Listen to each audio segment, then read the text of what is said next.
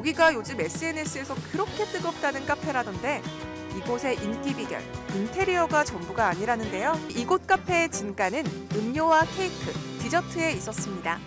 특히 커피의 아성에 도전하는 수제차가 여기 숨은 주인공이라는데요.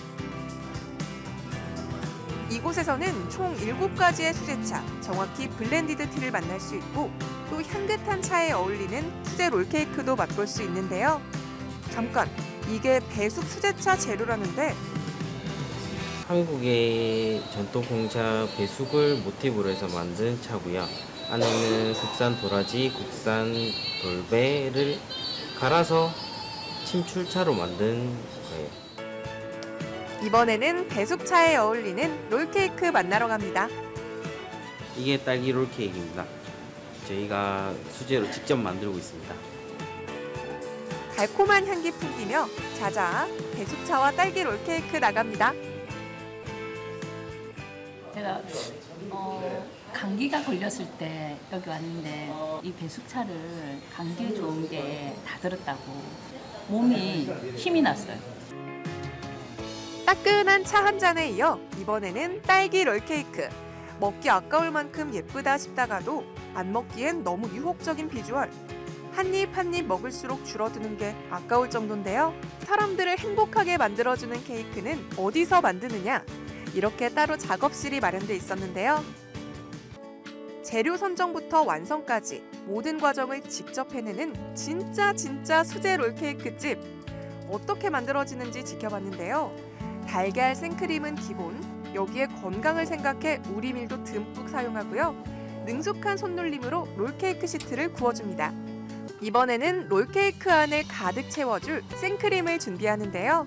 여기에는 트레할로스라는 이름의 천연 감미료가 들어가 특별함을 더해줍니다. 요즘 사람들은 디저트라고 해서 예전처럼 막 달게 드시지는 않아요. 그래서 당분을 조금 최소화시키고 그 설탕의 역할을 대신 해주는 아이가 트레할로스예요.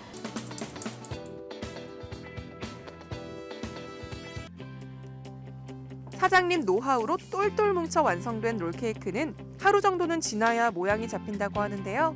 그 말인 즉슨 준비해둔 롤케이크가 다 팔리면 끝. 다음 날을 기다려야 한다는 사실. 이번에는 어떤 롤케이크를 만드는 걸까요? 바닐라 롤케이크예요.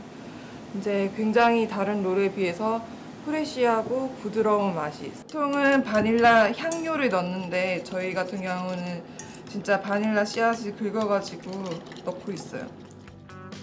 진짜 바닐라비는 향신료 중에서도 고가에 속한다는 거 살짝 생색내고 갑니다.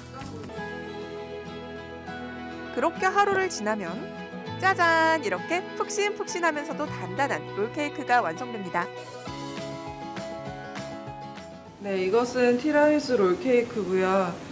어, 이 롤케이크 같은 경우는 다른 롤과 다르게 에스프레소와 마스카포네를 함께 이제 고급 재료를 넣어서 만드는 롤케이크예요. 다시 카페로 돌아온 만큼 아까 미처 다 못 봤던 수제차 다시 만나볼까요? 이거는 구운 유자차예요. 건조 과정을 거치기 전과 후에 당도와 산미를 위해 한 번씩 구워서 만들었습니다. 보통 우리가 생각하는 그런 유자차가 아니고 텁텁하지 않고 달지 않고 속이 좀 개운해지는 그런 느낌이 나고요. 달지 않아 더 매력적이라는 구운 유자차. 그런데 역시 아이들에게는 케이크가 최고인 모양입니다. 어떤 재료를 어떻게 얼마나 섞느냐에 따라 그 맛이 천차만별 달라지는 blended tea. 이번에는 어떤 차일까요? 이거는 또 진짜 석류 가루가 들어가서 만든 차라서 좀 더 향이 많이 진하고 어, 맛도 좀 더 맛있는 것 같아요. 역시나 이번에도 롤케이크는 아이들 차지.